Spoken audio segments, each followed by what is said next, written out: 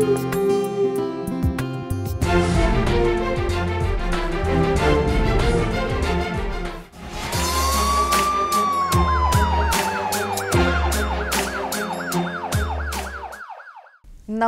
DD Yadagiri ప్రేక్షకులందరికీ ఇవాళ ఒక మంచి విషయం చెప్పబోతున్నాం మేము. మనకి చాలా విషయాలు తెలిసి తెలవక తప్పులు చేస్తూ ఉంటాం. కానీ కొన్ని విషయాలు తెలిసి కూడా తప్పులు చేస్తున్నాం మనం. అవే సైబర్ క్రైమ్స్గా ఈరోజు మన ముందు నిలబడ్డాయి.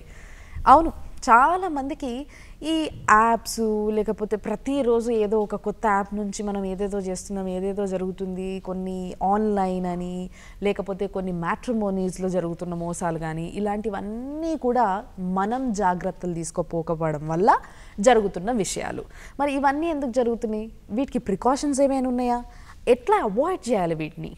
ఈ విషయాలు మనం ఈరోజు మాట్లాడబోతున్నాం. లేకపోతే ఎన్ని మోసాలు జరుగుతున్నాయి ఎంత పిచ్చిగా నమ్ముతున్నాం మనం జనాలని అది మీరు ఒకసారి తెలుసుకోవాలి ఆలోచించాల్సిన విషయం. మరి ఈరోజు సైబర్ క్రైమ్స్ గురించి మాట్లాడడానికి కే. ఇంద్రవేణి గారు జాయింట్ డైరెక్టర్గా పనిచేస్తున్నారు సైబర్ సెక్యూరిటీ డివిజన్లో. ఆవిడతో మస్తు ముచ్చట్లు చెప్పబోతున్నాం మనము మస్తు ముచ్చట్లు మాట్లాడబోతున్నాము. అండ్ చాలా ఇంపార్టెంట్ ముచ్చట్లు మాట్లాడబోతున్నాం. ముఖ్యంగా ఆడవాళ్ళ కోసం. చాలామంది ఆడపిల్లలు పాపం మోసపోతున్నారు. ఎవరో ఏదో ఇష్టపడ్డరని వాళ్ళకి అట్రాక్ట్ అయిపోయి ఫేస్బుక్లని టిక్టాక్లని ఇట్లా ఒకటా రెండా యాప్లు మన దగ్గర ప్రతి ఒక్కటి హ్యాక్ చేయబడుతున్నాయి ఈ రోజులలో ఈ విషయాన్ని మనం ఎందుకు మర్చిపోతున్నాం? అందుకోసమే. కొంచెం కేర్ఫుల్గా ఉందాం. ఎలాంటి ప్రికాషన్స్ తీసుకోవాలో ఇప్పుడు మనం తెలుసుకుందాం. నమస్తే అండి. బాగున్నారా? మీరు బాగుంటే మా అందరికీ ఇన్ఫర్మేషన్ వస్తుంది. ఆ ఇన్ఫర్మేషన్ వల్ల మేము బాగుంటాం. అండ్ ఎస్ సైబర్ క్రైమ్స్ ఈ రోజులలో ఇది అసలు టాప్లో ఉంది. అసలు ఎక్కడ ఏది లేనంత టాప్లో సైబర్ క్రైమ్స్ అనేది టాప్లో నించింది ఈరోజు ఇప్పుడు ఒక చిన్న ఏవి చూద్దాం.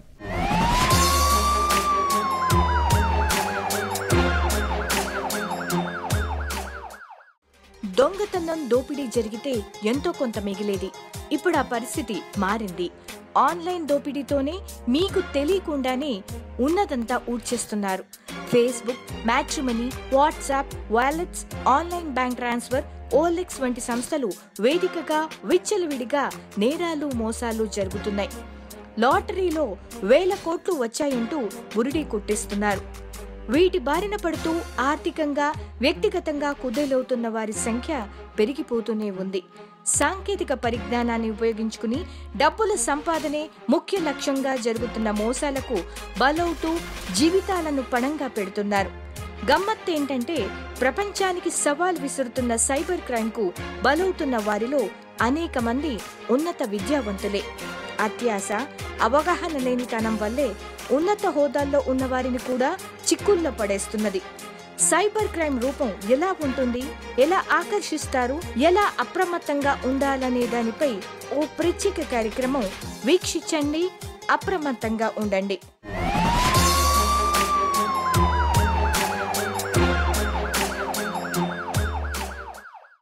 ఎందుకు అని అంటే ఆ, చాలా మంది పోనీ తెలవక చేస్తున్నారు తెలవక ఇట్లా జరుగుతుంది అని అందామంటే ఎంతో చదువుకున్న వాళ్ళు మేధావులు కూడా మోసపోతున్నారు దీంట్లో అన్న విషయాన్ని మనం చూస్తూ ఉన్నాం.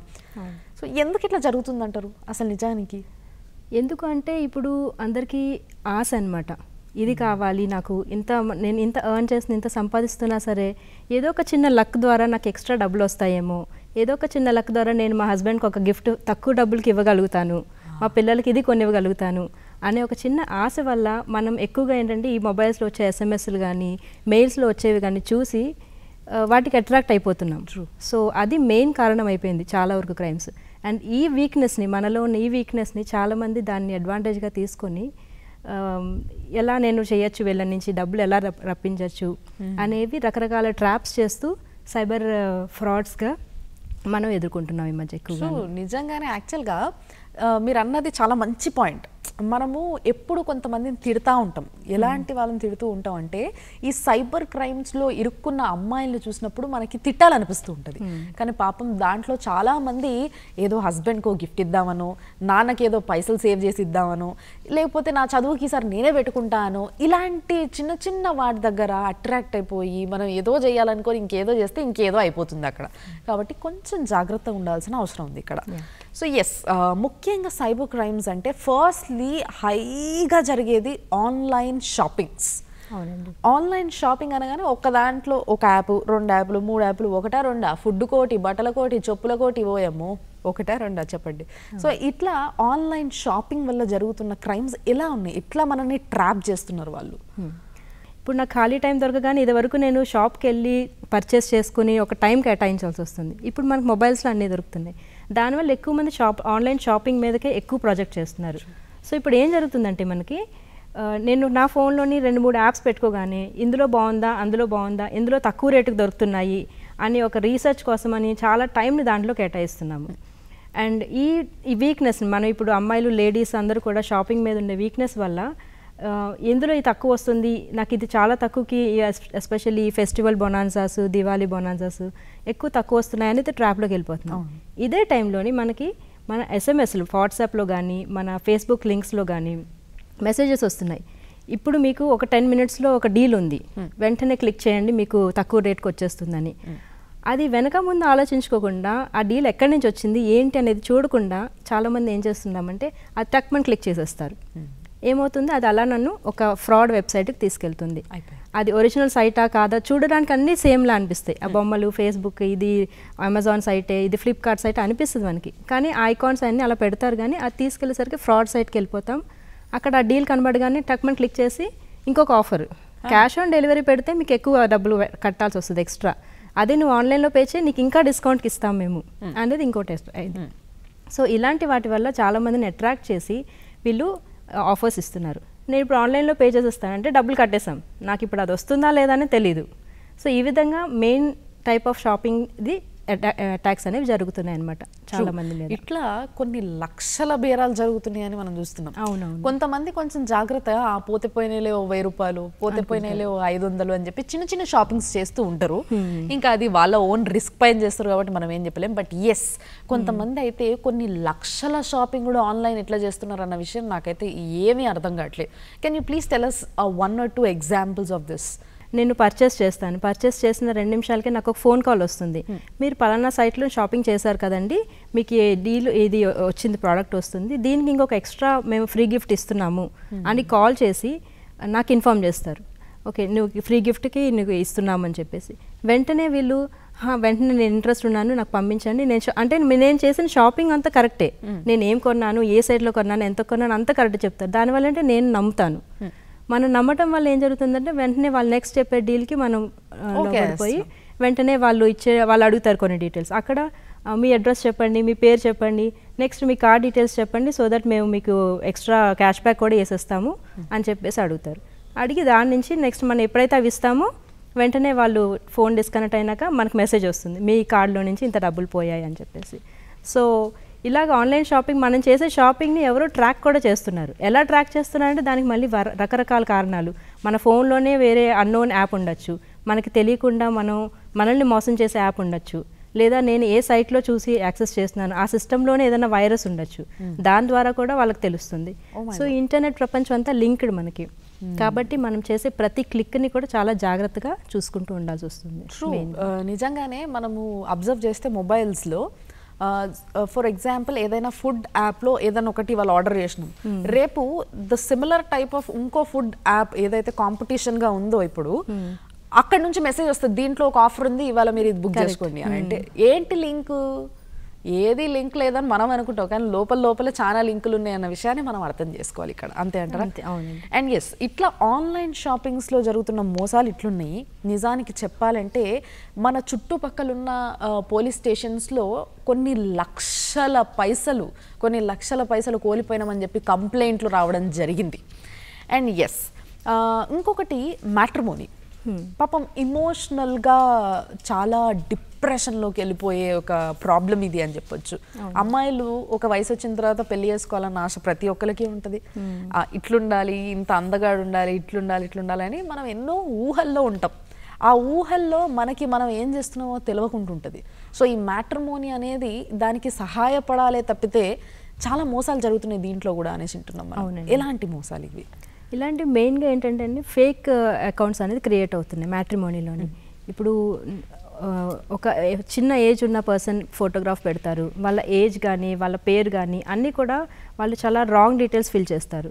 సో ఇప్పుడు నేను ఒక మెంబర్ అందులో రిజిస్టర్ అయ్యి చెక్ చేసుకోగానే ఎప్పుడైతే మంచి ఫోటోగ్రాఫ్ కనబడుతుందో మంచి ఈ కంపెనీలో పనిచేస్తున్నారు మంచి డీటెయిల్స్ అన్నీ తెలియగానే వెంటనే వాళ్ళు అక్కడ అట్రాక్ట్ అయిపోయి నీ కాంటాక్ట్ చేయడానికి ట్రై చేస్తారు. నేను ఇంట్రెస్టెడ్ మీ ప్రొఫైల్ నాకు నచ్చింది సో మనం ఒకసారి అర్థం చేసుకుందాం ఒకరినొకరిని చెప్పేసి. సో అర్థం చేసుకునేది ఏంటంటే ఆ మ్యాట్రిమోనియల్ సైట్లోని ఉన్న చూసిన ఫేక్ డీటెయిల్స్ ద్వారా వెళ్తుంది. కానీ అక్కడ మనం గమనించాల్సింది ఏంటంటే అసలు ప్రొఫైల్ క్రియేట్ చేసింది ఎవరు? దానిని మ్యాట్రిమోనియల్ సైట్ అనేది ఎక్నాలెజ్ చేసింది. అంటే ఇది కరెక్టే ఇది జెన్యునే అని చెప్పిందా లేదా? ఇప్పుడు మ్యాట్రిమోనియల్ సైట్స్ అన్నీ కూడా చెప్తాయి. ఇవి జెన్యున్ ఇది అంటే దాని ద్వారా ఏంటి? వాళ్ళు ఒక బ్యాక్గ్రౌండ్ చెక్ చేస్తారు కొంచెం పేమెంట్ అది తీసుకొని ఈ జెన్యున్ అకౌంట్స్ క్రియేట్ చేస్తారు. ఫ్రీ అకౌంట్స్కి కూడా ఆప్షన్ ఉంది. సో చాలా మంది ఏంటంటే నాకు వస్తున్న అకౌంట్ చూస్తున్న లిస్ట్లోని ఏది ఫ్రీ ఏది జెన్యున్ ఏది జెన్యున్ కాదు అనేది చూసి అర్థం చేసుకోగలిగే కెపాసిటీ అనేది ఉండాలి. చూసిన ప్రతి ఒక్కటి నిజమే అవును ఇది వెంటనే తెలుసుకుని కాంటాక్ట్ చేసి అక్కడి నుంచి ఏంటంటే మెల్లిగా వాళ్ళ ఫేస్బుక్కి వాళ్ళ ఫోన్ నెంబర్స్కి కాంటాక్ట్స్ అనేది వెళ్తున్నాయి. అక్కడి నుంచి సంభాషణ జరుగుతుంది ఇప్పుడు మ్యాట్రిమోనియల్ సైడ్ సో యాక్చువల్గా ఆ, ఒకసారి ఆలోచించండి. అమ్మాయిలే కానీ అబ్బాయిలే కానీ ముఖ్యంగా ఈ వయసులో ఉన్న వాళ్ళు టీనేజర్స్ కానీ లేకపోతే పెళ్ళి ఏజ్కి వచ్చిన వాళ్ళు కానీ ఎవరైనా ఫ్రెండ్ ఏదైనా ఫోటో చూపిస్తే ఏ మా తెలియదా దాంట్లో ఎన్ని మతలబ్లు నువ్వు చూడనీకి ఎట్లున్నావు? ఫోటోలు ఎట్లున్నావు? అని అంటాం. అండ్ వేర్ యాజ్ మ్యాట్రిమోనీలో మాత్రం ఒక ఫోటో చూసి మోసపోతున్నాం అట్రాక్ట్ అవుతున్నాం అంటే just think where are we ఈ ప్రపంచంలో మనం ఎక్కడి నుంచి ఉంటున్నామో అన్న విషయాన్ని మనం ఒకసారి ఆలోచించాలి. ఇప్పుడు ఒక చిన్న ఏవి చూద్దాం. మ్యాట్రిమనీ వెబ్సైట్లో ఈ మోసగాళ్ళకు ఒక సమాచార నిధిలా దొరికాయంటే అతిశయోక్తి కాదు. అక్కడ వ్యక్తిగత వివరాలతో కూడిన ప్రొఫైల్స్ని వ్యక్తిగత లాభాల కోసం వినియోగించుకుంటున్నట్టు ఎన్నో సైబర్ నేరాల్లో రుజువైంది. వివాహాలకు ఉద్దేశించిన ఈ సమాచారాన్ని అక్రమార్కులు తమ స్వలాభాల కోసం వినియోగించుకోవడం వేధింపులకు తెగబడ్డం శోచనీయం. అండ్ ఇవన్నిటిని అవాయిడ్ చేయాలంటే ముఖ్యంగా ఆ, కొన్ని కొన్ని చిన్న చిన్న విషయాలు ఉంటాయి. ఇప్పుడు బయటికి వెళ్ళినప్పుడు ఎవరైనా ఏదైనా ఇన్ఫర్మేషన్ ఇస్తాం మేము అనగానే అమ్మాయిల ఫోన్ నంబర్ కాకుండా మన ఇంట్లో మన నాన్న ఫోన్ నంబరు అన్న అన్న నంబరు ఇచ్చేసి వస్తూ ఉంటాం మనం. ఇలాంటి చిన్న విషయాల్లో తీసుకునే జాగ్రత్త ఇక్కడ ఎక్కడో మిస్ అవుతుంది. ఈ సైబర్ క్రైమ్స్లో ఎక్కడో మిస్ అవుతుంది. ఎక్కడ అంటారు ఏ ప్రికాషన్ తీసుకోవాలంటారు? ఈ ఇంటర్నెట్ వరల్డ్కి వచ్చేసరికి అందరూ ఎవరికాలు ఇండిపెండెంట్ అయిపోయారు.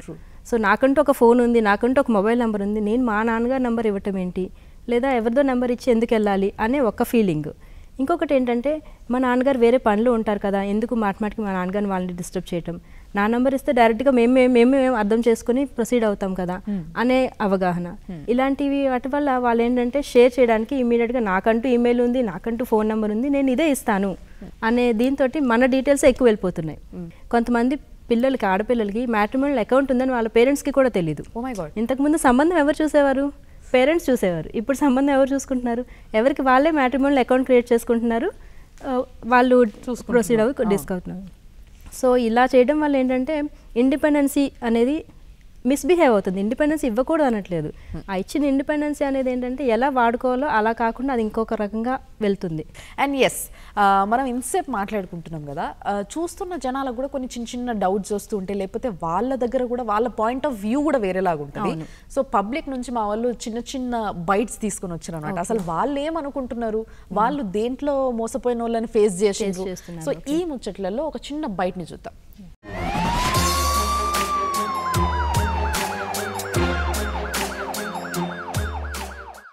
నా పేరు శోభన్ కుమార్. ఈరోజు మామూలుగా మనకి సమాజంలో ఫేస్బుక్ ట్విట్టర్ వాట్సప్ ఈ మీడియా మాధ్యమాలు అనేటువంటి చాలా ఎక్కువగా అందుబాటులో ఉన్నాయి.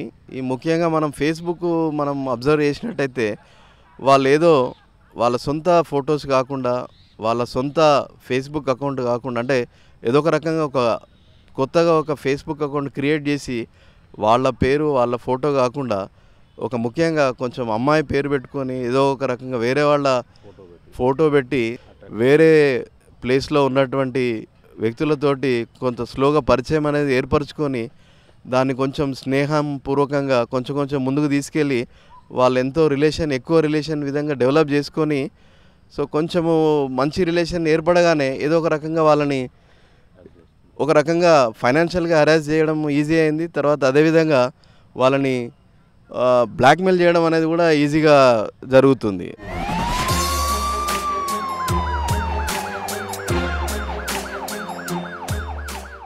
అండ్ మోర్ ఓవర్ ఇందాక మన వ్యూఆర్ చెప్పినట్టుగా ఈ ఫోటోలని మార్ఫింగ్ చేయడం అనేది ఒకటి జరుగుతుంది ఫేస్బుక్లో. ఇప్పుడు ఫర్ ఎగ్జాంపుల్ నేను నా అకౌంట్లో కొన్ని one of my best photos నేను పెట్టుకున్నా. సో వీటిని చూసిన వాళ్ళకి జెలస్తోనో లేకపోతే ఏందో వాళ్ళు వేరే ఇంకా ఏ చెడు పనికి వాడడానికో దేనికో ఈ ఫొటోస్ని తీసుకెళ్ళి మార్ఫింగ్ చేసుకోవడం వేరే విధంగా. కొంతమంది ఏమో బాడీస్ పెట్టి ఫేసులు మార్చడం కొంతమంది ఫేసులు వేరే వాళ్ళవి తీసుకొచ్చి పెట్టి బాడీస్ మార్చడం. దో ఇక్కడ ఫేస్ పెట్టిన అమ్మాయికైనా లుక్స్ అనే at the same time body ఉన్న అమ్మాయిదైనా లుక్స్ అని సో అసలు ఇది ఎట్లా జరుగుతుందండి ఈ మార్ఫింగ్ ఇంత ఈజీ ఎట్లా అయిపోయింది అసలు? సో ఫేస్బుక్లో నేను ఒక ఫోటో పెడుతున్నానంటే ఫస్ట్ మనం గమనించాల్సింది ఆ ఫోటో అసలు అక్కడ పెట్టవలసిన అవసరం ఉందా ఫస్ట్ థింగ్? ఎందుకు మనం లైక్స్కి అట్రాక్ట్ అవుతున్నాం? ఈ ఫోటో పెడితే ఎవరో లైక్ చెప్తూ వెళ్ళాడు ఇంతకు ముందు మనం ఎలా ఉండేవాళ్ళమి నా ఫోటోన మా నాన్నగారు చూస్తారు మా అమ్మగారు చూస్తారు మా అన్నయ్య చూస్తాడు నా ఫ్రెండ్స్ చూస్తారు. "ఆ, ఇది బాగుందని చెప్తారు. ఇప్పుడు ఎలా అయిపోయిందంటే ప్రపంచం అంతా చెప్పాలి నేను బాగున్నాను అని. నా ఫ్యామిలీ బాగుంది. మీ ఫ్యామిలీ చాలా ముచ్చటగా ఉంది. ఇలాంటి కమెంట్స్ తోటి ఇలాంటి లైక్స్ వల్ల అట్రాక్ట్ అయిపోతున్నారు. మనం ఒక ప్రపంచం నుంచి వేరే ప్రపంచానికి వెళ్తూ దీనివల్ల చాలా రకాల మోసాలకి మనం ఫేస్ అవుతున్నాం. సో ఈ ఫోటో పెట్టడం వల్ల మంచిగా మనం మన ఫేస్ ఇలా ఫ్రంట్కి కనిపిస్తూ నేను స్ట్రైట్ కనిపిస్తున్న పిక్చర్ కరెక్ట్గా ఉండటం వల్ల అలాంటి పిక్చర్స్ చాలా ఈజీగా తీసుకుని మార్ఫ్ చేస్తారు. అదే మనం సైడ్కి తిరుగో లేకపోతే ఇంకేదైనా యాక్టివిటీస్ చేస్తూ అంటే మన విజిబిలిటీ తక్కువ ఉంటున్న పిక్చర్స్ అయితే మార్ఫింగ్ చాలా కష్టం ఉంటుంది.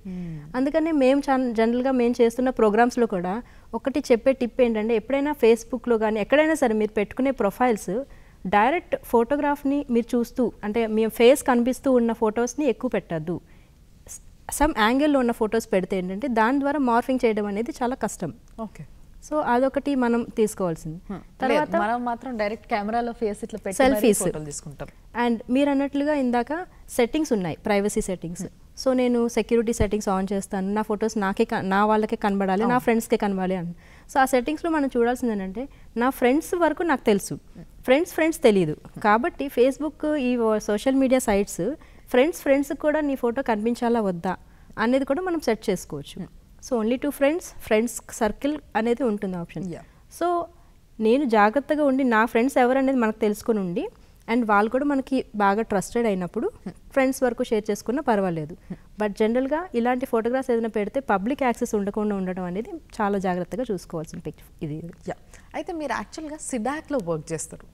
CDAC is a centre for development of advanced computing so దీంట్లో వర్క్ చేసేటోళ్ళు చెప్తే మేము చాలామంది ఏం నమ్ముతాం. మీరైనా నేనైనా ఎస్ ఎందుకు అని అంటే ఎన్నో కొత్త కొత్త యాప్స్ని ఇన్వెంట్ చేస్తూ ఉంటారు. కొత్త- కొత్త కొత్త ఎక్స్పెరిమెంట్స్ చేస్తూ ఉంటారు మీరు. సో వీటి నుంచి వచ్చిన కొన్ని యాప్స్ అవసరం అవుతాయి కొన్ని అనవసరం అయినప్పటికీ మనం వాడుతూ ఉంటాం. అంటే దేంతోనైనా అవసరం అనవసరం రెండు ఉంటాయి. అడ్వాంటేజ్ అండ్ డిసడ్వాంటేజెస్ రెగ్యులర్గా ఉంటాయి మనకి ప్రతి దాంతో. సో మరి దీంట్లో ఫేస్బుక్ని తీసుకుంటే ఇది మనకి ఎంత అవసరం? ఎంత అవసరం లేదు. ముఖ్యంగా అమ్మాయిలకి. బికాజ్ నేను ఈ న్యూస్ కూడా నేను లాంగ్ బ్యాక్ ఒకసారి చదవడం జరిగింది. ఎవరో అమ్మాయి ఈ మధ్య సెల్ఫీ అనగానే ఈ స్పౌట్ అని మూతులు ఇట్లా పెట్టి మరీ ఫోటోలు దిగుతున్నారు. అని.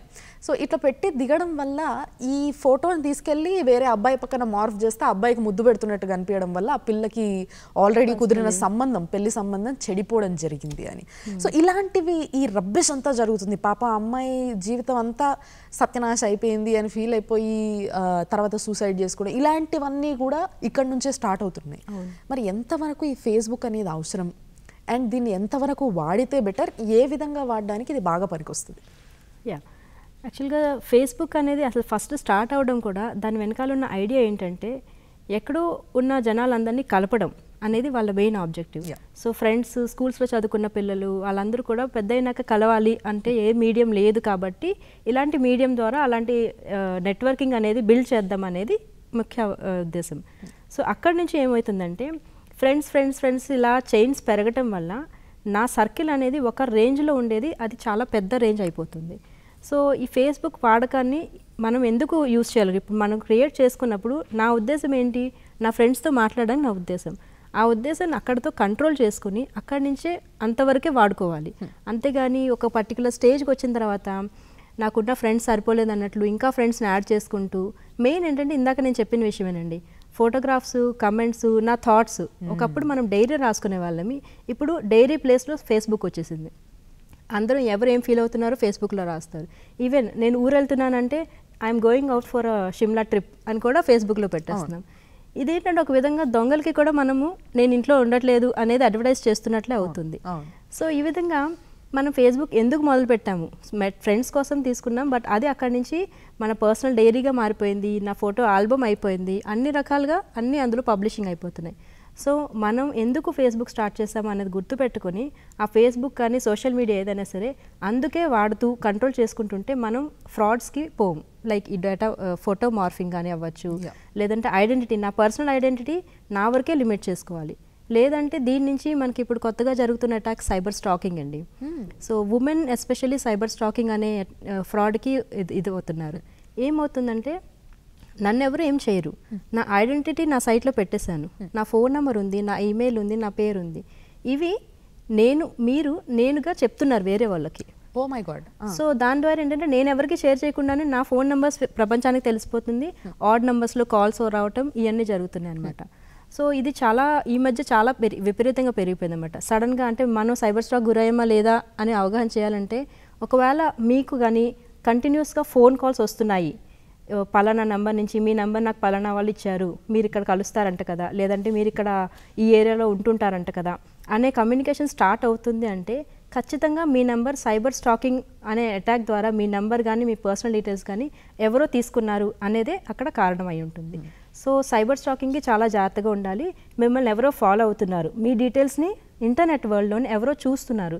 ఆ డీటెయిల్స్ తీసుకుని మీ నుంచి ప్రపంచానికి ఇచ్చి మిమ్మల్ని డిస్టర్బ్ చేస్తున్నారు మీ పర్సనల్ లైఫ్ని ఒక్కొక్కసారి సైబర్ స్టాకింగ్ అటాక్స్లోని ఒక మెంబర్కి మూడు రోజుల్లోని ఇరవై ఇరవై ఐదు కాల్స్ ఒకటే కంటిన్యూస్ డిస్టర్బెన్స్ అది ఎప్పుడు? మిడ్ నైట్స్లో పిల్లలతో గడుపుతున్న ప్రైవసీ సమయంలోని ఈవినింగ్ టైంలోని ఎర్లీ మార్నింగ్ హడావిడిగా మన ఆఫీస్కి వెళ్తాను సడన్గా కంటిన్యూస్ కాల్స్ కాల్ పిక్ చేయకపోతే జెన్యున్ కాల్స్ ఇంకోసారి చేస్తారు. లేదంటే ఆపేస్తారు. బట్ వీళ్ళు ఏంటంటే మనం పిక్ చేసినంత వరకు కాల్స్ చేస్తూనే ఉంటారు. సో ఇలా సైబర్ స్టాకింగ్ అనేది చాలా కాల్స్ వచ్చినప్పుడు ఏం చేయమంటారు మరి? దాన్ని అవాయిడ్ చేయమంటారు ఆర్ ఎల్స్ బ్లాక్ చేయమంటారా బ్లాక్ చేయాలి. ఫస్ట్ థింగ్ అయితే బ్లాక్ చేయాలి. సెకండ్ థింగ్ ఏంటంటే ఇమీడియట్గా రిపోర్ట్ చేయాలి మనం. సో నేను చెప్పదలుచుకుంది ఏంటంటే అమ్మాయిలైనా సరే ఈ రోజు సైబర్ క్రైమ్స్ని మీరు ఎదుర్కొంటున్నారు అంటే అది మీరు ఒక్కరే కాదు మీలాగా చాలామంది ఎదుర్కొంటున్నారు. సో ఎవరో ఒకరు ధైర్యం చేసి కంప్లైంట్ ఇస్తే మిమ్మల్ని ఎవరైతే హెరాస్ చేస్తున్నారో వాళ్ళు మిగతా వాళ్ళని కూడా ప్రొటెక్ట్ వాళ్ళని పట్టుకోవడం వల్ల మిగతా వాళ్ళు కూడా సేవ్ అవుతారు. కాబట్టి ధైర్యం చేసి రిపోర్ట్ చేయండి. ఎస్ మీ సీక్రెట్స్ ఏవైనా ఉంటే అవి బయటికి రాకుండా కూడా సైబర్ క్రైమ్స్ని ఆ కేస్ని మీరు రిపోర్ట్ చేస్తే డెఫినెట్లీ దాన్ని సార్ట్ అవుట్ చేయడానికి చాలామంది ఉన్నారు మనకి. అండ్ మీరు కూడా పోలీస్ స్టేషన్లో వెళ్ళి ఆ కేస్ని రిపోర్ట్ చేసి రండి ఏం భయపడకండి. తప్పకుండా మనని హెల్ప్ చేస్తారు. సైబర్ క్రైమ్స్ గురించి తెలుసుకోవాల్సింది ఇంకా చాలా ఉంది. ఎక్కడికి వెళ్ళకండి ఒక చిన్న బ్రేక్ తీసుకోండి.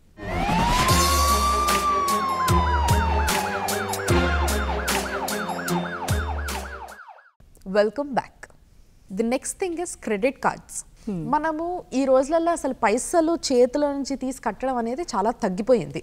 And moreover next month కట్టుకోవచ్చులే. ఇంకా నలభై రోజులు టైం ఉందిలే అని చెప్పి క్రెడిట్ కార్డు స్వైప్ చేస్తూనే ఉంటాం. ఈ క్రెడిట్ కార్డ్ని వాడడం వల్ల ఎలాంటివి జరుగుతున్నది అన్న విషయాన్ని ఒక్కసారి మనం పబ్లిక్ని అడుగుదాము. వాళ్ళు ఏం చెప్తారో విన్న తర్వాత మేడంతో మాట్లాడదాం. ఒక చిన్న bite.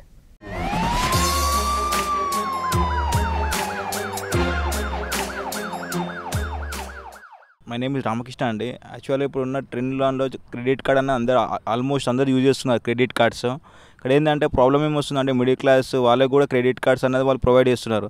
అయితే ఏమవుతుందంటే ఎస్బీఐ క్రెడిట్ కార్డ్కి అంటే నార్మల్గా కాల్స్ వస్తున్నాయన్నమాట. ఫేక్ కాల్స్ వచ్చి రావడం వల్ల వాళ్ళు ఏం చేస్తున్నారంటే ఫస్ట్ మనకి టెంప్టింగ్ చేస్తున్నారు. ఏమని అంటే మీకు మీ కార్డు మీద మీకు ఆఫర్స్ ఉన్నాయి మీకు ట్రిప్ మేక్ మై ట్రిప్ ఉంది మీకు ఓచర్స్ వస్తున్నాయి అవి వస్తున్నాయి ఇవి వస్తున్నాయి అని చెప్పి చాలా లేదంటే ఆశ చూపించేసి దాని నెక్స్ట్ స్టెప్ ఏం చేస్తున్నారంటే వాళ్ళు క్రెడిట్ కార్డ్ నెంబర్ అడుగుతున్నారు. వీళ్ళు తెలియక ఏం చేస్తున్నారంటే క్రెడిట్ కార్డ్ నెంబర్ చెప్పేస్తున్నారు. దాంతో ఓటీపీ నెంబర్ అని చెప్తున్నారు. ఓటీపీ నెంబర్ చెప్పే వరకు వాళ్ళు ఏం చేస్తున్నారంటే క్రెడిట్ కార్డ్ ఉన్న లిమిట్లో నుంచి వాళ్ళు డెబిట్ చేసుకొని అట్లా ఏంటంటే మిడిల్ క్లాస్ వాళ్ళకి ఏంటంటే చాలా ప్రాబ్లం అవుతుంది నెక్స్ట్ ఏంటంటే మనం ఇప్పుడు అట్లాంటి కేసెస్ వచ్చినప్పుడు మనం ఇలాంటి సేఫ్టీ తీసుకోవాలి ప్రికాషన్స్ అవి కూడా అవేర్నెస్ చేస్తే బాగుంటుంది కదా అనేసి నా ఒపీనియన్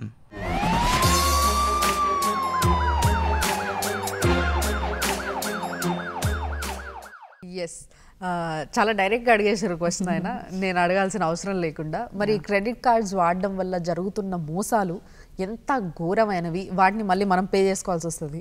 వాళ్ళు స్వైప్ చేసుకున్న తర్వాత. సో దీన్ని అట్లా అవాయిడ్ చేయాలంటారు. క్రెడిట్ కార్డ్ డీటెయిల్స్ ఒకసారి కార్డు దొరికినంత కార్డు తీసుకున్నంత వరకు మనం వెనకాల బ్యాంక్స్ పడుతుంటాయి. అండ్ మనం కూడా టెంప్ట్ అవుతాం. ఆ కార్డు వల్ల నాకు కూడా ఒక మంత్ కొంచెం లీజర్ టైం దొరుకుతుంది మనీ పే చేయడానికి అనేది సో ఎప్పుడైతే కార్డ్స్ తీసుకుంటున్నామో తీసుకున్నా తీసుకోకపోయినా ఇన్ఫ్యాక్ట్ క్రెడిట్ కార్డ్స్ లేని వాళ్ళకి కూడా కాల్స్ వస్తుంటాయి. లేని వాళ్ళు సేఫే ఉన్న వాళ్ళకి ఏదో ఒకలా కాల్ వస్తుంది. సో ఏం జరుగుతుంది?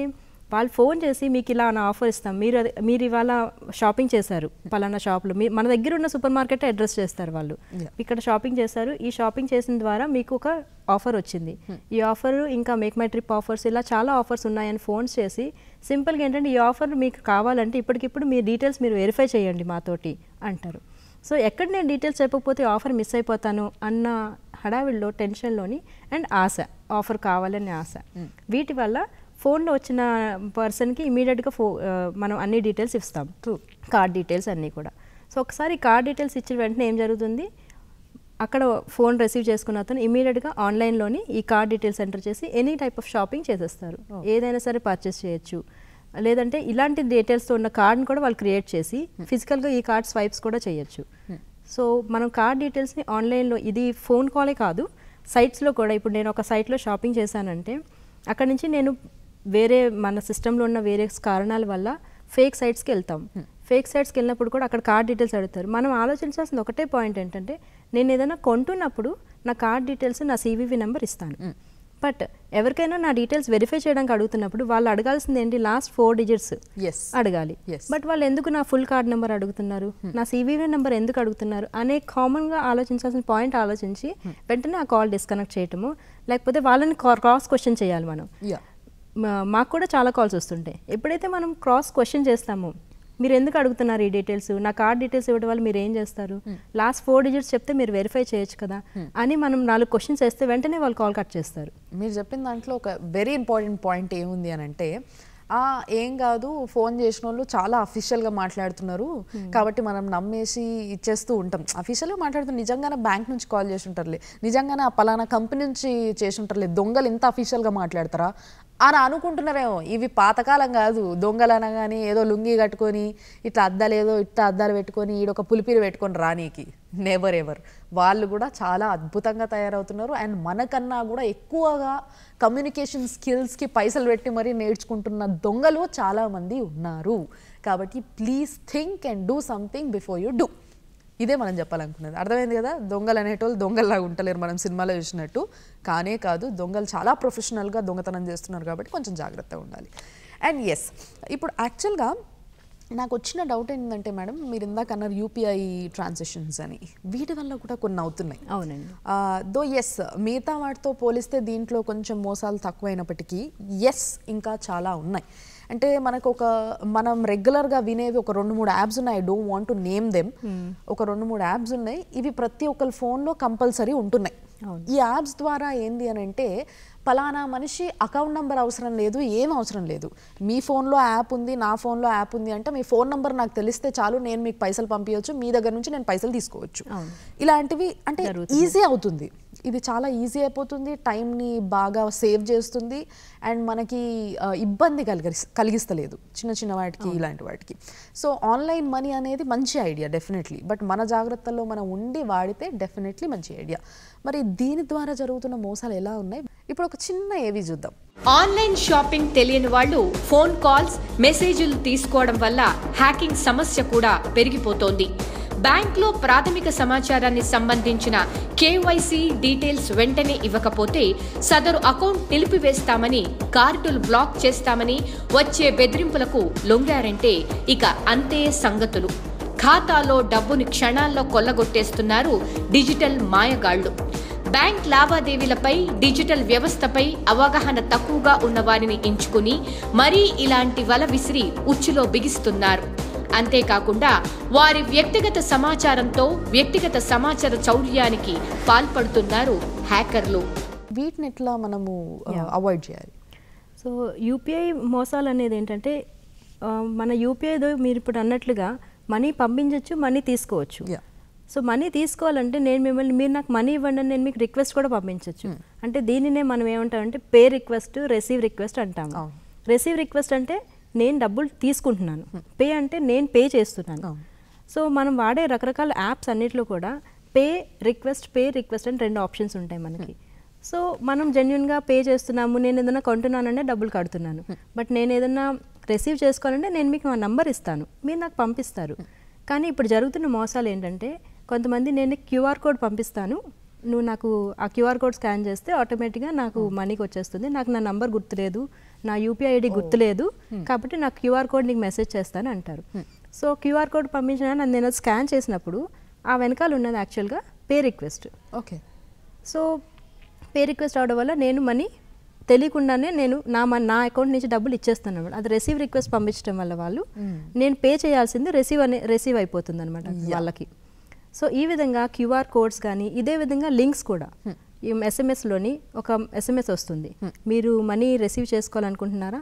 ఈ లింక్ పంపించండి. అని కానీ అక్కడ రిసీవ్ చేసుకోవడం కాదు మనీ కట్టడం అవుతుంది ఆ లింక్ చే క్లిక్ చేయగానే రిసీవ్కైనా రిసీవ్కి జనరల్గా పిన్ అడగదు మిమ్మల్ని. పేకి పిన్ అడుగుతుంది. అడుగుతుంది.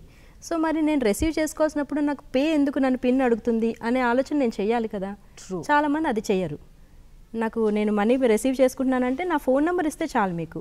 కానీ మీరు ఇచ్చిన లింక్ క్లిక్ చేయడం ద్వారా నన్ను పిన్ అడుగుతుంది అంటే నా అమౌంట్ నా అకౌంట్ నుంచి డబ్బులు వెళ్తున్నాయి అనే విషయం నేను ఆలోచించాలి. అది మీరు గుర్తుపెట్టుకొని నేను ఏం చేస్తున్నాను పిన్ అడుగుతుందంటే ఏం జరుగుతుంది ఇక్కడ నా ఫోన్లో అనే విషయం మనం ఆలోచించి నా మనీ నా డబ్బులు కట్ అవుతున్నాయేమో అని ఆలోచించి వెంటనే అక్కడ ఆపాలి మనం. యూపీఐకి సంబంధించి యాక్చువల్లీ ఈ విషయం నాకు తెలియదు. నేను వెయిట్ చేస్తున్నా. మీరు ఈ టాపిక్ స్టార్ట్ చేసినప్పటి నుంచి లాస్ట్కి మనం ఎట్లా దీన్ని ఐడెంటిఫై చేయాలా అని నేను వెయిట్ చేస్తున్నా ఆన్సర్ కోసం. You have given me nice answer యాక్చువల్గా నిజంగానే మనం ఒకరికి పైసలు పే చేసేది ఉంటేనే మనని ఏదైతే మనం సీక్రెట్ కోడ్ పెట్టుకుంటామో ఆ పలానా యాప్కి అది అడుగుతుంది. లేకపోతే అది అడగదు. Mobiles. దాన్ని మనం ఎంపిన్ అంటూ ఉంటాము. ఈ ఈధర్ కొన్ని ఫోన్స్లో ఫోర్ డిజిట్స్ ఉంటాయి లేదంటే సిక్స్ డిజిట్స్ ఉంటాయి. వీటిని మనం రెగ్యులర్గా యాప్ ఓపెన్ చేయగానే ఒకసారి ఫింగర్ ప్రింట్స్ అడుగుతుంది.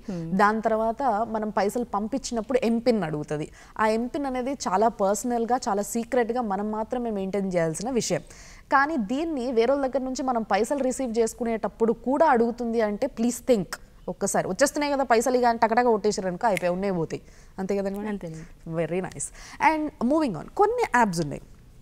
కొన్ని యాప్స్ ఎలాంటివి అని అంటే ఎస్ దీనివల్ల ఫ్రాడ్స్ ఎలా జరుగుతున్నాయి అంటే ఇప్పటి వరకు మనం మనీ చుట్టూన లేకపోతే మనిషి ఐడెంటిటీ ఐడెంటిటీ పైన జరుగుతున్న ఫ్రాడ్స్ గురించి మాట్లాడుకున్నాం. కొన్ని యాప్స్ లైక్ టిక్ టాక్ ఈ యాప్ ఒక రేంజ్లో క్రేజ్ ఉన్న యాప్. సో ఈ యాప్ ద్వారా కొన్ని మంచి జరిగినాయి. అంటే ఎక్కడైనా బ్లడ్ అవసరం పడ్డా ఎక్కడైనా ఇంకే ఇంకొక వ్యక్తికి ఏదైనా అవసరం పడ్డా ఎక్కడి నుంచో దూరం నుంచి వచ్చి ట్రావెల్ అయ్యి ఇన్ఫర్మేషన్ తెలిసి లేకపోతే ఎవరైనా మిస్సింగ్ కేసు ఉంటే వాళ్ళు దొరకడం జరిగింది. ఇలాంటివి మంచి కూడా జరిగినాయి. ఎట్ ద సేమ్ టైం దీని ద్వారా చాలామంది చనిపోవడం జరిగింది. పిచ్చి పిచ్చి వేషాలు వేసుకుంటూ చనిపోవడం జరిగింది. ఇవే కాకుండా దీని ద్వారా జరుగుతున్న ఫ్రాడ్స్ కూడా కొన్ని ఉన్నాయి. సో దీని ద్వారా ఫ్రాడ్స్ ఎలా జరుగుతున్నాయి అంటారు అసలు? సి టిక్ టాక్ ద్వారా మనకి జనరల్గా ఫేక్ వీడియోస్ అనేది అప్లోడ్ చేస్తున్నారు కొంతమంది. సో అది వీడియో నిజం అనుకుని దీనికి రెస్పాండ్ అయ్యి నేను రెస్పాండ్ అవడం ద్వారా పర్సన్ ఇన్ పర్సన్ కలవచ్చు ఆ పర్సన్ని అనే ద్వారా ఇది కూడా ఒక విధంగా సోషల్ మీడియా లాంటిదేనండి. ఇది ఒక కమ్యూనిటీ బిల్డ్ చేస్తుంది ఫ్రెండ్స్ నెట్వర్క్ బిల్డ్ చేస్తుంది. దీని ద్వారా ఏంటంటే నేను నా నా పర్సనల్ ఐడెంటిటీని నేను రికార్డ్ చేసిన వీడియోస్ని అన్నింటినీ ప్రపంచానికి ఇచ్చేస్తున్నాను. మనం ఇందాక ఏదైతే డేటా మార్ఫింగ్ అనుకున్నామో వీడియో మార్ఫింగ్స్ కూడా పాసిబుల్ సో టిక్టాక్లో రిలీజ్ చేసిన వీడియోస్ని కూడా మార్ఫ్ చేసి వాటి నుంచి ఫేక్ వీడియోస్ క్రియేట్ చేసి అనవసరంగా మన ఐడెంటిటీని పబ్లిసైజ్ చేసి దాన్ని క్రిటిసైజ్ చేసే ఛాన్సెస్ ఉంటాయి. కాబట్టి టిక్టాక్ అనేది ఒక టైప్ ఆఫ్ ఎడిక్షన్ అదేంటంటే అదొక ప్యాషన్ ఈ రోజుల్లో కొంతమందికి హాబీ అయిపోయింది. ప్రతిరోజు ఒక టిక్టాక్ వీడియో రిలీజ్ చేయడం అనేది హాబీ అయిపోయింది. కానీ ఆ రిలీజ్ అయిన వీడియో ద్వారా ఎన్ని రకాల ఇవి జరగచ్చు నా పర్సనల్ దానికి అనేది ఒకసారి ఆలోచించుకోవాలి. కాబట్టి కొంచెం కేర్ఫుల్గా ఉండాలి. ద మోస్ట్ ఇంపార్టెంట్ టాపిక్ ఇప్పుడు మనం మాట్లాడుకోబోతున్నాం. మనం ఇందాక డిస్కస్ డిస్కస్ చేస్తూ చేస్తూ మాట్లాడుకున్న విషయం ఏంటి అని అంటే ఈ డేటింగ్ అండ్ రొమాన్స్ యాప్లని కొన్ని వచ్చినాయి. అవునండి. నిజానికి చెప్పాలంటే అతి చండాలమైన యాప్లనే చెప్పాలి ఇవి. Yeah why do want to date on phones నాకు అర్థమైతలేదు. ఎందుకు ఒక వ్యక్తితో డేట్ చేయాలనుకుంటే ఎస్ నీకు రేపటి ఫ్యూచర్ కోసం ఒక మనిషిని నువ్వు అర్థం చేసుకునే తరికాలు చాలా చాలా ఉన్నాయి. ఇవన్నీ వదిలిపెట్టి నువ్వు ఆన్లైన్లో ఒక మనిషితో రొమాన్స్ ఒక మనిషితో డేటింగ్ చేయడం అనేది ఒక చండాల పైన ఆలోచన. అసలు దీనికి కూడా కొన్ని యాప్స్ వస్తూ ఉన్నాయి. వీటికి కూడా కొంతమంది లింకప్ అయి ఉంటున్నారు. అసలు వీటికి ఎట్లా అట్రాక్ట్ అవుతున్నారు? బేసికల్గా ఫస్ట్ ఏంటంటే ఈ చాలామంది జనాలకి కొన్ని ఒక రకమైన డిప్రెషన్లోకి వెళ్ళిన వాళ్ళు ప్రపంచంతో ఫ్రీగా మూవ్ అవ్వలేని వాళ్ళు వాళ్ళు ఏంటంటే ఇలాంటి యాప్స్ తాలూకా హెల్ప్ తీసుకుంటుంటారు జనరల్గా. సో వాళ్ళు కొంచెం ఫ్రీగా వెళ్ళి అందరితో ఫ్రెండ్షిప్ చేయలేరు మాట్లాడలేరు అన్న వాళ్ళు ప్లస్ ఫ్రీగా వెళ్ళే వాళ్ళు కూడా కమ్యూనిటీ పెంచుకుంటున్నారు అది ఇంటెన్షన్గా చేస్తున్నారు. కానీ జెన్యున్గా అన్ఇంటెన్షనల్గా ఉన్న వాళ్ళు ఏంటంటే నాకు ఫ్రెండ్స్ కావాలి నేను ఎవరైనా కలవాలనుకుంటున్నాను అంటే వాళ్ళు ఫ్రీగా మూవ్ అవ్వలేని వాళ్ళు ఇలాంటి యాప్ సహాయం తీసుకుంటారు. వాళ్ళు ఇలాంటి యాప్స్ ద్వారా పడే మోసాల్లోని ఇరుక్కుంటున్నారు వాళ్ళకే తెలియకుండా. సో వాళ్ళు ఏమనుకుంటారంటే ఈ దీంట్లో మాట్లాడే ద్వారా నాకు ఫ్రెండ్షిప్ అవుతుంది నేను ఆ మనిషిని అర్థం చేసుకుంటాను. అన్నీ బాగుంటే రేపు పొద్దున్న పెళ్ళి చేసుకోవచ్చు. మా పేరెంట్స్కి నా కోసం కష్టపడే ఇది ఉండదు కదా అన్న థాట్స్తో కూడా ఏంటంటే వాళ్ళు ఇలాంటి వాటి ద్వారా ప్రొసీడ్ అవుతున్నారు. సో ఇక్కడ ఏం జరుగుతుందంటే ఒకసారి ఫ్రెండ్షిప్ అయిన తర్వాత ఆ యాప్స్లోని మనకు పరిచయమైన వ్యక్తి నేను నీ గురించి ఇంకా తెలుసుకోవాలనుకుంటున్నాను. నాకు నీ గురించి ఇంకా చెప్పు అని వాళ్ళ పర్సనల్ డీటెయిల్స్ వాళ్ళ మైండ్ థింకింగ్ ఎలా ఉంది అవన్నీ తెలుసుకుని ఒకసారి ఇప్పుడు నీ ఫోటోగ్రాఫ్ పంపించు నీ వీడియో పంపించు నేను నా ఫ్రెండ్స్ కూడా చూపించి నువ్వు వీడియో నువ్వు ఎలా మాట్లాడతావు ఏంటో అని చెప్తానంటారు. ఆ వీడియో నుంచి స్లో స్లోగా అది పర్సనల్ వీడియోస్ వరకు వెళ్ళిపోతున్నాయి అవి. నువ్వు రికార్డ్ చేసి చూపించు మన ఇద్దరమే ఉన్నాం ఇక్కడ. నువ్వు రికార్డ్ చేసి ఇవ్వు నేను మనం మన ఇద్దరి మధ్యలో రేపు పొద్దున్న మనం ఎలాగో మ్యారేజ్ చేసుకుంటాం కదా. ఈ type of very personal matters వరకు డిస్కషన్స్ వెళ్ళిపోతున్నాయి. ఇందువల్ల నాన్ జెన్యున్గా ఉన్న వాళ్ళు ఇలాంటి యాప్స్ ద్వారా అన పాపం ఆడపిల్లల్ని ట్రాప్ చేసి వాళ్ళ వీడియోస్ వచ్చిన తర్వాత ఇంకా ఆ రోజు నుంచి మనిషి కనిపించాడు మీకు. ఆ యాప్లోని ఆ రోజు తర్వాత మీ రికార్డెడ్ వీడియో ఒకసారి వాళ్ళ చేతికి వెళ్ళింది అంటే అప్పటి నుంచి మీకు ఆ వ్యక్తి కనిపించడు ఆ వ్యక్తి ఫోన్ నెంబర్ ఉండదు ఏమీ ఉండదు. తర్వాత మీ వీడియోస్ సోషల్ మీడియాకి వెళ్ళిపోతాయి. ఇంకా అక్కడి నుంచి మీకు బ్లాక్మెయిలింగ్ స్టార్ట్ అవుతుంది. నీ వీడియో వచ్చింది నువ్వు నాకు ఇప్పుడు డబ్బులు ఇవ్వు. ఇప్పుడు డబ్బులు ఇవ్వలేదంటే ఇది నేను వేరే వాడికి పంపిస్తాను మీడియాస్కి రిలీజ్ చేస్తాను. భయంతో పాపం వీళ్ళు ఎక్కడొక దగ్గర నుంచి మనీ ఎరించడానికి ట్రై చేస్తారు. సో ఈ టైప్ ఆఫ్ బ్లాక్మెయిలింగ్ అనేది ఎక్కువ జరుగుతుంది ఇలాంటి వాటి ద్వారా. సో ఇనీషియల్ కమ్యూనికేషన్ మామూలుగా ఉండి అక్కడి నుంచి అక్కడి నుంచి personal videos personal photographs different different pornography సైట్స్లోనే upload చేసే ఇమేజెస్ని కూడా ఇలాంటి ద్వారా క్యాప్చర్ చేసి వాళ్ళు పబ్లిసైజ్ చేస్తున్నారు.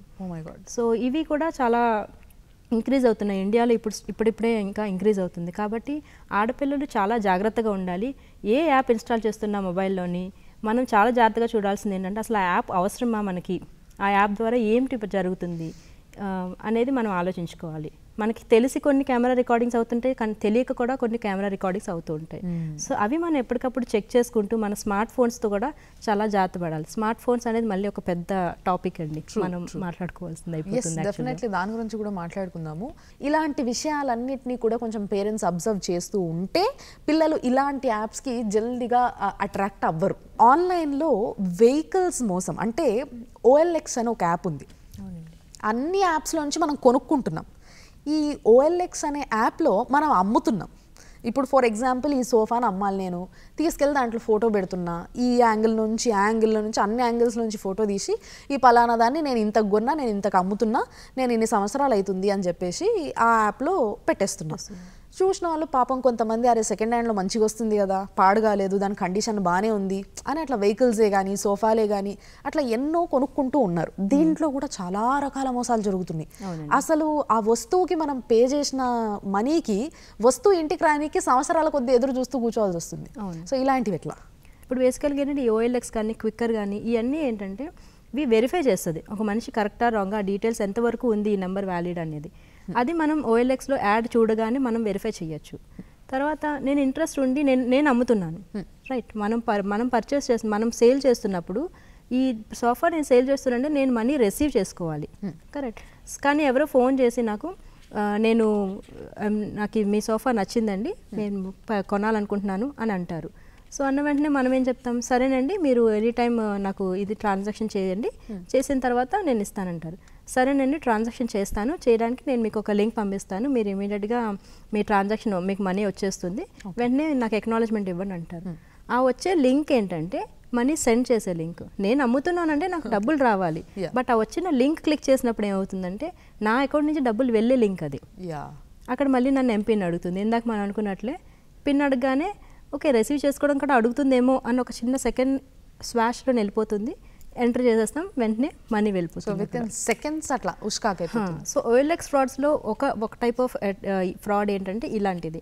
యూపీఐ రిక్వెస్ట్లు కానీ మనీ రిసీవ్ రిక్వెస్ట్లు కానీ ఇలా మనీ నాకు తెలియకుండా మనీ ఇచ్చేయడం అనేది జరుగుతుంది అనమాట ఓఎల్ఎక్స్ ఫ్రాడ్స్లో సో మనం అమ్ముతున్నామా కొనుక్కుంటున్నామా అనేది ఆలోచించుకోవాలి. ఆబ్వియస్లీ నేను అమ్ముతున్నానంటే నాకు డబ్బులు రావాలి కానీ నేను ఎందుకు డబ్బులు ఇస్తాను? సో ఈ ఒక చిన్న బేసిక్ లాజిక్ని గుర్తుంచుకోవాలి ఓఎల్ఎక్స్ ప్రొడక్ట్స్లో నెక్స్ట్ ఏంటంటే ఫ్రాడ్ అడ్వర్టైజ్మెంట్స్ అసలు ఆ ఐటమ్ ఉందా లేదా అనేది వెరిఫై చేసుకోకుండా మనం డబ్బులు కట్టేసి నువ్వు నాకు పంపించని చెప్పి సంవత్సరాలు సంవత్సరాలు దానికోసం వెయిట్ చేయడం అనేది కరెక్ట్ కాదు. సో ఆ ఇది ఇచ్చిందా ఇవ్వక ముందే ఫస్ట్ వెళ్ళి డోర్ వెరిఫై చేసుకుని ఐటమ్ ఉందా లేదా? అని చెక్ చేసుకుని అది కూడా పర్సనల్గా వెళ్ళకూడదు. ఉమెన్ అయితే అసలు ఇండివిజువల్గా వెళ్ళి ఐటమ్ చూడరాదు. ఎందుకంటే వాళ్ళు చెప్పిన ప్లేస్కి మనం వెళ్తున్నాం. కాబట్టి ఉమెన్ వెళ్తున్నారంటే కనుక ఖచ్చితంగా మీ బ్రదర్నో హస్బెండ్నో ఫాదర్నో ఎవరో ఒకరిని తోడు తీసుకుని వెళ్ళి ఐటమ్ ఉందా లేదా అని చెక్ చేసుకుని కండిషన్లో ఉంది అంటే అప్పుడు ఐటమ్ తీసుకోండి. కుదిరితే క్యాష్ పేమెంట్ చేయండి. ఇలా ఆన్లైన్ పేమెంట్ చేసేసి అది ఐటమ్ చూడకుండా వస్తుందో రాదో తెలియకుండా చేయడం అనేది కరెక్ట్ కాదు. ఇంకొక చిన్న బ్రేక్ తీసుకుని వచ్చేద్దాము ఇంకా చాలా ముచ్చట్లు ఉన్నాయి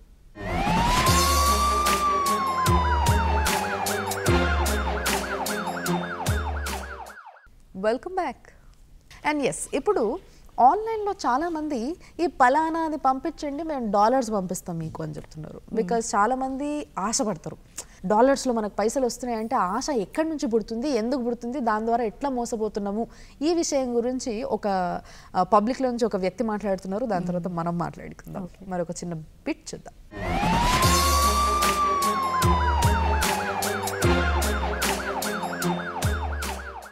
నా పేరు సతీష్ చంద్ర అండి. యాక్చువల్గా ఒక అతను ఫోన్ చేసేసి యుఎస్ నుంచి కొన్ని డాలర్స్ ఉన్నాయి. ఆ డాలర్స్ మాకు షిప్పింగ్లో వచ్చాయి. ఆ డాలర్స్ అనేది ఆ డాలర్ అనేది వై బ్లాక్ కలర్ పేపర్లో ఉంటుంది. దానిపైన ఒక కెమికల్ అప్లై చేస్తే అది డాలర్గా మారిపోతుందని చెప్పేసి అని చెప్పాడంట అతనికి. చెప్పిన తర్వాత అవునా అని చెప్పేసి వీళ్ళు అతన్ని ఆ ఇంటికి పిలిపించుకొని ఏం చేశారంటే మాకు నమ్మకం లేదు అది అంటే అతను ఏం చేశాడు ఆ డాలర్స్ ఆ బ్రేక్ఫాస్ట్ ఓపెన్ చేసేసి ఆ డాలర్ నోట్ ఒక నోట్ తీసి దానిపైన కెమికల్ అప్లై చేశాడు. అది నిజంగానే డాలర్గా మారిపోయింది యుఎస్ డాలర్స్గా నోట్స్ మారిపోయినాయి. అట్లా ఒకటి రెండు మూడు అట్లా ర్యాండమ్లీ తీసి ఆయన తెలివిగా చేశాడు. చేసిన తర్వాత నా దగ్గర కెమికల్ అయిపోయింది దీన్ని తీసుకురావడానికి ఒక లక్ష రూపాయలు కావాలి నేను కెమికల్ తీసుకొస్తాను మీ దగ్గరనే చేసిస్తాను మన ఇద్దరం ఫిఫ్టీ ఫిఫ్టీ తీసుకుందాం అని చెప్పేసరికి వాళ్ళు ఆశపడి ఆయనకి లక్ష రూపాయలు ఇచ్చారు. ఇచ్చిన తర్వాత ఆయన వెళ్ళిపోయాడు. వెళ్ళిపోయి ఇమీడియట్గా ఓపెన్ చేయకుండా బ్రీఫ్ కేసు ఓపెన్ చేయకుండా దాన్ని లాక్ వేసి పెట్టారు. ఆయన ఒక రోజు అయిపోయింది రెండో రోజు అయిపోయింది మూడో రోజు అయిపోయింది ఆయన ఎప్పటికి కూడా రాలేదు. రాకపోతే దాన్ని బ్రేక్ చేశారు వీళ్ళు briefcase. Briefcase break చేసినప్పుడు ఏమైంది? అక్కడ అన్ని బ్లాక్ పేపర్స్ అన్ని బండల్స్ లాగా కట్టి పెట్టారు దాంట్లో. వేసిన తర్వాత అతను వచ్చాడు. ఇట్లాంటి కెమికల్ ఏమైనా ఉంటుందా? ఈ నోట్స్ని మన నోట్స్ని మన ఈ- ఈ కెమికల్ వేయడం వల్ల నోటుగా తయారైపోయే కెమికల్ ఉంటుందని చెప్పి ఒక అతను నా వచ్చాడు. అట్లా ఏముండదండి? అది అంటే లేదండి ఇట్లా అవుతుంది మా దగ్గర ఆల్రెడీ కొన్ని నోట్స్ చేశాడు అది అని చెప్పి నాకు కొన్ని షాంపీస్ కూడా తీసుకొచ్చి చూపించాడు. చూపిస్తే అసలు అట్లాంటిది ఉండనే ఉండదు అని చెప్పేసి మేము చెప్పాం. చెప్పిన తర్వాత ఆయన వెళ్ళాడు. చాలా ప్రయత్నం చేశాడు. ఎంత ప్రయత్నం చేయాలో అంత ప్రయత్నం చేశాడో. ఎక్కడికి కూడా కాలేకపోయాడు. ఆయన లక్ష రూపాయలు అలా పొడగొట్టుకున్నాడు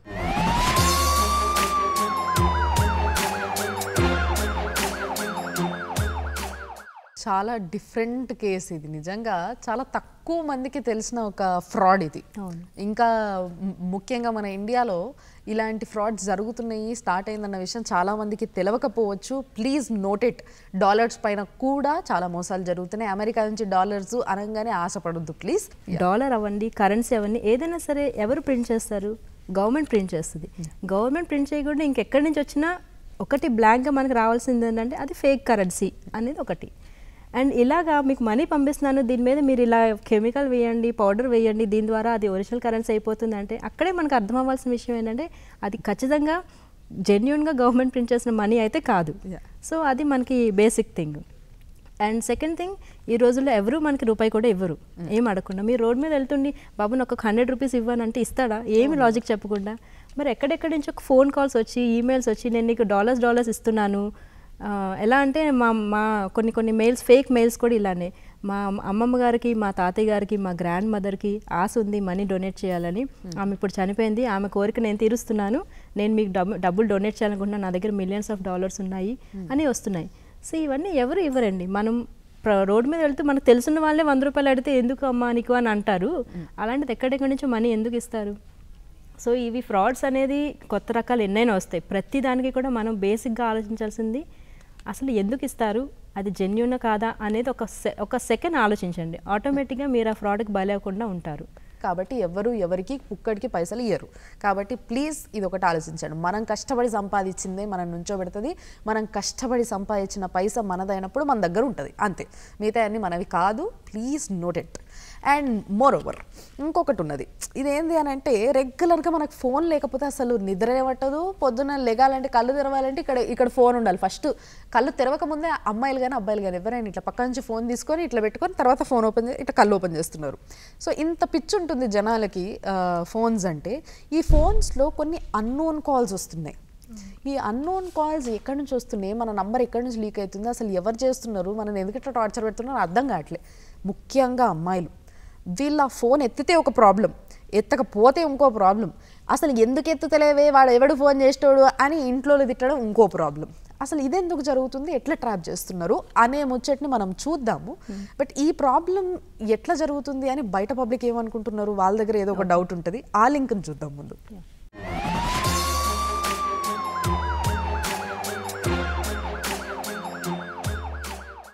ఇప్పుడు మనం మనం అనుకున్నట్టుగానే కొందరు తెలియని వ్యక్తులు ఫోన్ చేసి ఇట్లా మేము బ్యాంక్ నుంచి ఫోన్ చేస్తున్నాం పలానా ఐసిఐసిఐ బ్యాంకు లేదంటే ఆంధ్ర బ్యాంకు ఏదో ఒకటి బ్యాంక్ ఫోన్ ఫోన్ చేస్తున్నాం అండి మీ అకౌంట్లో పదివేలు వచ్చినాయి ఇరవై వేలు వచ్చినాయి మీ ఓటీపీ చెప్పండి అని చెప్పేసి నాకు తెలిసిన నా మిత్రులకు కూడా ఇటువంటి ఫోన్ కాల్స్ రావడం జరిగింది.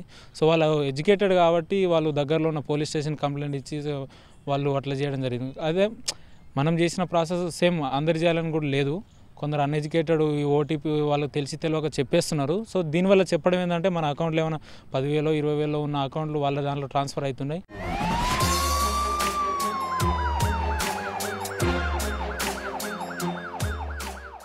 సో ఇక్కడ అన్నోన్ కాల్స్ అనే దాంట్లో ఒక కేస్ మన పబ్లిక్ నుంచి ఒక బయటగా తీసుకోవడం జరిగింది. అంటే బ్యాంక్స్ నుంచి వస్తున్నాయి అని చెప్పి. అండ్ ఇట్లా చాలా రకాల ఫోన్స్ వస్తూ ఉంటాయి మనకి. ఓన్లీ ఫోన్ కాలే కదా అని చెప్పి ఎత్తుతాం మనం. అక్కడి నుంచే మన రాతే మారిపోతుంది అసలు. ఎట్లా మారిపోతుంది అనేది ప్లీజ్ చెప్పరా? సో యాక్చువల్గా అన్నోన్ ఫోన్ కాల్స్కి ఫస్ట్ థింగ్ ఏంటంటే ఫస్ట్ మీరు అడిగిన క్వశ్చన్ మన నంబర్ ఎలా తెలుస్తుంది? ఇన్ఫ్యాక్ట్ అది మనమే ఇస్తున్నాం. ఎక్కడ అంటే మనం షాపింగ్ వెళ్తున్నాం. బయట ఒక అబ్బాయి నుంచి ఉంటాడు. అబ్బాయో అమ్మాయో. లక్కీ డ్రా ఉందండి మీరు ఫిల్ చేయండి అని. సో మీరు ఎన్ని పేపర్స్ మీద మీ ఫోన్ నంబర్స్ మీ నేమ్ రాసుంటారో ఆలోచించండి. సో ఈ లక్కీ డ్రా అనేది మీరు ఇన్నిసార్లు రాశారు కదా ఎప్పుడైనా లక్కీ డ్రా వచ్చిందా మనకి? Very very rare case in fact వచ్చింది అంటే ఆ వచ్చిన వాళ్ళు ఖచ్చితంగా ఆ షాప్కి సంబంధించి దేనికి సంబంధించిందో ఫ్రెండో ఏదో అయ్యి ఉంటారు నేను అన్ని లక్కీ డ్రాస్ ఫేక్ అనట్లేదు but there are few few in fact many of the ఇలాంటి కేసెస్లోని చాలా వరకు ఇలా మనకు తెలియకుండానే మనమే ఇస్తున్నాం. సంథింగ్ పర్పస్ కోసం. ఎక్కడొక దగ్గర రాసి ఇస్తున్నాము. అండ్ ఫేస్బుక్లో వాటిల్లో పెడుతున్నాము. ఫామ్స్ ఫిల్ చేస్తున్నాం. చాలా దగ్గర registration forms for example shopping site తీసుకోండి.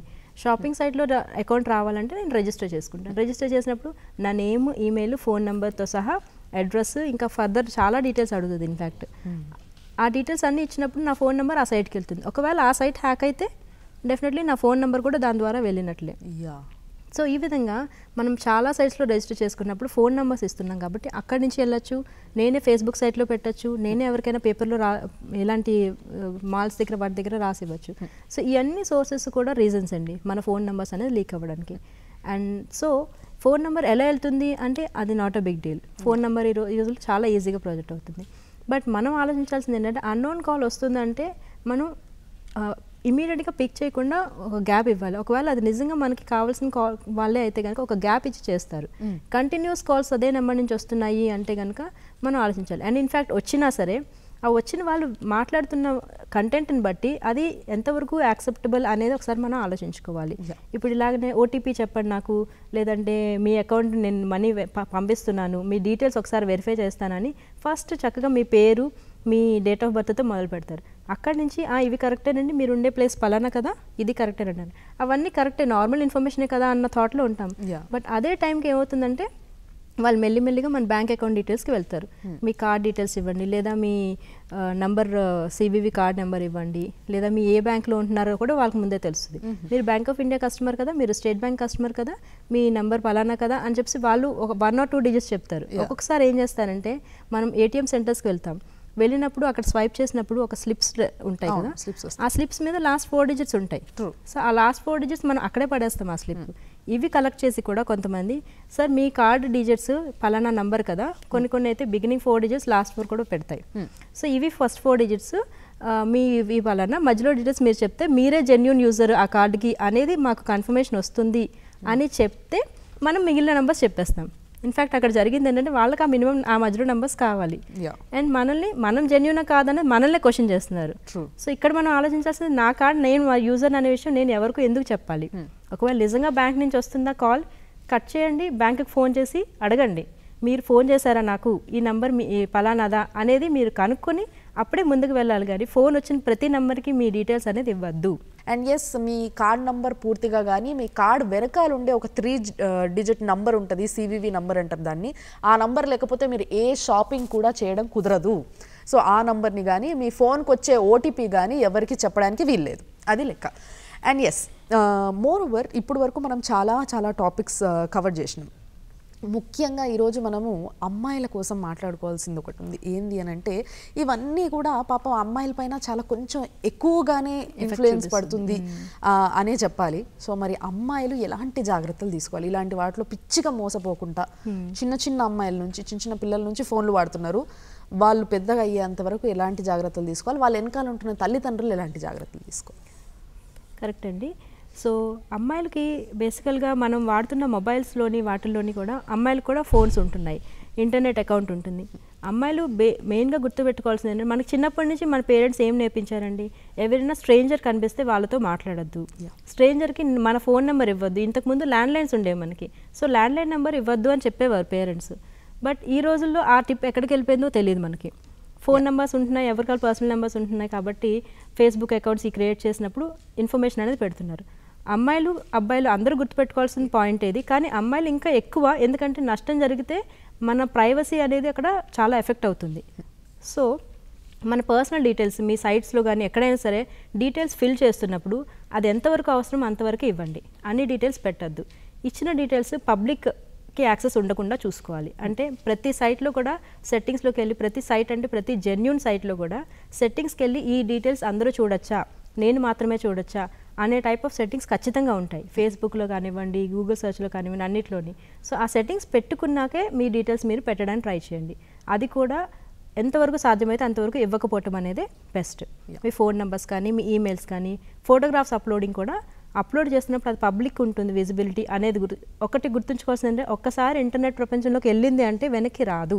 సెకండ్ థింగ్ మీరు వాడుతున్న మొబైల్స్లోని ఏం యాప్ ఇన్స్టాల్ చేస్తున్నాము? ఆ యాప్కి ఎంతవరకు నేను పర్మిషన్స్ ఇస్తున్నాను? మన ఫోన్లోని చాలా డీటెయిల్స్ ఉన్నాయి. ఇన్ఫ్యాక్ట్ చెప్పాలంటే మన ఫోనే మనకు ఒక వాలెట్ మన పర్సనల్ డైరీ లాగా మన మన పర్స్ లాగా అయిపోయింది. అందులోనే ఆన్లైన్ బ్యాంకింగ్ ఉంది అందులో యూపీఐ ఉంది మన మన ఫోటోగ్రాఫ్స్ ఉన్నాయి మన సోషల్ మీడియా అకౌంట్స్ ఉంది మన ఈమెయిల్ అన్నీ అందులోనే ఉన్నాయి. సో మరి ఆలోచించండి మన ఫోన్ని ఎంత జాగ్రత్త చూసుకోవాలనేది. సో మనం ఇన్స్టాల్ చేస్తున్న ప్రతి యాప్ని కూడా ఆ యాప్ మన సిస్టంలో ఎన్ని పర్మిషన్స్ తీసుకుంటుంది అనేది రెగ్యులర్గా చూసుకుంటూ ఉండాలి ఆ యాప్కి ఆ పర్మిషన్ అవసరమా లేదా అనేది ఖచ్చితంగా చూడాలి. ఫర్ ఎగ్జాంపుల్ మీరు క్యాబ్ బుకింగ్ తీసుకుంటున్నారు. క్యాబ్ బుక్ చేసుకునే యాప్కి మీ గ్యాలరీ తాలూకా యాక్సెస్ ఉండాల్సిన అవసరం ఏముంటుంది? ఒకవేళ cab booking app gallery permission తీసుకుంది అంటే మీరు అక్కడ డినై చేయాలి. పర్మిషన్ అనేది రిమూవ్ చేయాలి. క్యాబ్ బుకింగ్ కెమెరా పర్మిషన్ అవసరం లేదు. అలా కెమెరా పర్మిషన్ గ్యాలరీ పర్మిషన్స్ ఇస్తున్నప్పుడు ఆలోచించుకుని ప్రొసీడ్ అవ్వాలి. మలేషియస్ యాప్స్ అంటే అన్నోన్ యాప్స్ అనేది ఉండకుండా చూసుకోవాలి మనం phone it's good point actually చూసినరా? Cab బుకింగ్కి కూడా అవసరం అసలు. గ్యాలరీ అనేది అవసరమే లేదు కాబట్టి ఇలాంటి వాటికి don't allow it and yes మీరు ఈరోజు ఈ పొజిషన్లో ఉన్నప్పటికీ మీరు ఒక పేరెంటే even you do have kids so పిల్లలు ఆ, తప్పుదారిలో పోకుండా ఇలాంటి వాటిలో ఇలాంటి బారిన పడకుండా వాళ్ళని మనం కొంచెం కేర్ఫుల్గా చూసుకోవాలి. సో తల్లి తండ్రికి ఎలాంటి ప్రికాషన్స్ ఇస్తారు? కరెక్ట్ అండి. సో తల్లిదండ్రులు పిల్లలతోటి ఫస్ట్లీ థింగ్ ఏంటంటే ఎప్పుడైనా సరే ఒకటి మీరు చూడండి పిల్లలకి ఏదైనా వద్దు అన్నారంటే వాళ్ళు అదే చేస్తారు. కాబట్టి ఆ వద్దు అనేది చెప్పడం అనేది మనం ఎలా చెప్తున్నాం అనేది మనకు చిన్నప్పటి నుంచి తెలిసిన విషయమే. ఏదైనా తినద్దు అంటే మనం ఎలా చెప్తామో అదేవిధంగా సైబర్ క్రైమ్ విషయాల్లో కూడా ఇది వద్దు అనేది మీరు ఎలా చెప్తున్నారని డీల్ చేసుకోవాలి. అది చెప్పాలంటే ఫస్ట్ థింగ్ మీరు ఫ్రెండ్లీగా ఉండాలి మీ పిల్లలతోటి. అక్కడ అంటే వాళ్ళు ఇంటర్నెట్ ప్రపంచంలో ఏది ఎదుర్కొంటున్నా వాళ్ళు వచ్చి మీతో చెప్పగలగాలి. ఆ లెవెల్ ఆఫ్ రిలేషన్ అనేది మీ మీతో మీ పిల్లలతోటి మనం బిల్ బిల్డ్ చేసుకోవాలి మనం. సెకండ్ థింగ్ ఏంటంటే వాళ్ళు ఎప్పుడు ఏం చేస్తున్నారు అనేది వాళ్ళకు ఒక గైడర్ లాగా. మీరు వెనకాల నుంచి ఇన్వెస్టిగేట్ చేస్తున్నట్లుగా ఉంటే వాళ్ళకు కూడా ఒక ఫీలింగ్ వస్తుంది. చూస్తున్నారు. అప్పుడు మన అప్పుడు పిల్లలు ఏం చేస్తారంటే నేను దాక్కుని నాన్న కనబడకుండా చేయాలి అమ్మ కనబడకుండా చేయాలంటారు. ఇన్స్టెడ్ వాళ్ళతో ఫ్రెండ్లీగా ఉండి మనం ఇలా చెయ్యి ఇలా చేయకూడదు అని చెప్తూ ఉండి వాళ్ళు చేసే ప్రతి యాక్టివిటీని సపోర్ట్ చేస్తూ అందులో కరెక్ట్ ఏది రాంగ్ ఏది అనేది మనం చెప్తూ ఉండాలి. అప్పుడే వాళ్ళు మన మాట ఫాలో అవుతారు. సో యా మీరు చదువుకున్నారా చదివే మాకేం తెలుసు బిడ్డ మేము ఏం చదువుకోలేదు. మీరు ఏం చదువుకోకపోయినా పర్లేదు. మీ పిల్లలు ఫోన్లు పట్టుకొని ఆడుతున్నారు అని అంటే ఏమీ తెలియని వాళ్ళు ఫస్ట్ క్లాస్ సెకండ్ క్లాస్ చదివే పిల్లలే ఫోన్ల గురించి నేర్చుకుంటున్నప్పుడు ప్రపంచాన్ని చదివిన మీరు ఎన్నో ఎక్స్పీరియన్స్ అయిన మీరు ఫోన్ గురించి తెలుసుకోలేరా? అందుకోసమే అడిగైనా పర్లేదు వేరే దగ్గర నేర్చుకొని అయినా పర్లేదు. కొంచెం కొంచెం తెలుసుకున్నారనుకో మీ పిల్లలు ఏం చేస్తున్నారో మీకు అర్థమవుతుంది. ఇన్ని విధాలుగా ఫ్రాడ్స్ జరుగుతున్నాయి అన్న విషయాన్ని మనం చెప్పినాం క్లియర్గా. అండ్ ఎస్ చాలా చాలా ప్రికాషన్స్ కూడా మీకు వచ్చినాయని మేము అనుకుంటున్నాం. ఇలాంటి షోస్ మనం ఇంకా ఇంకా చేస్తూనే ఉండాలి. అండ్ మీరు ఈ పబ్లిసిటీ ఇంకా ఇంకా ఎప్పుడు జనాలకి ఇన్ఫర్మేషన్ ఇస్తూనే ఉండాలి. ఈ అవేర్నెస్ ఇస్తూనే ఉండాలని నేను మనస్ఫూర్తి కోరుకుంటున్నా. Thank you so much madam thank you అండి థ్యాంక్ యూ సో మచ్ అది లెక్క. చూసారు కదా? మరి ఈ విధంగా ఇన్ని విధాలుగా జరుగుతున్న మోసాలని ఎవరు ఆపుతారు? ఎక్కడి నుంచో ఎవరో దిగబడి ఆపరు. మనని మనమే ఆపుకోవాలి. కొంచెం మన కంట్రోల్లో మన మైండ్ని పెట్టుకుంటే ఎస్ అన్నీ మన కంట్రోల్లోకి వస్తాయి. ఈ పని చేయండి. ఒక్కసారి మీ గురించి మీరు ఆలోచించుకోండి. ఇవన్నీ ఇలాంటి అనార్థాలు మీ లైఫ్లో మీతోని జరగకుండా చూసుకోండి. ప్రతి ఇండివిజువల్ సేఫ్గా ఉంటే ప్రపంచం అంతా హాయిగా ప్రశాంతంగా ఉంటుంది. దట్స్ ఆల్ ఫర్ టుడే మరి ఇట్లనే ఇలాంటి మంచి మంచి ఇంటర్వ్యూసే కానీ మంచి మంచి షోసే కానీ చూడాలనుకుంటే state Yoon to DD Yadagiri